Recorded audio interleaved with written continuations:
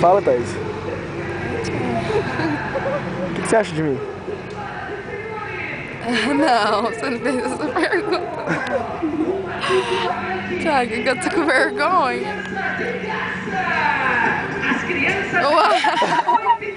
Chopão. Não, não, gente. Oi, Lu. Ah, não, gente. Fala. Eu sou pior que a Thais com essas coisas. Agora eu vou. Vou deixar o Thiago falar um pouco.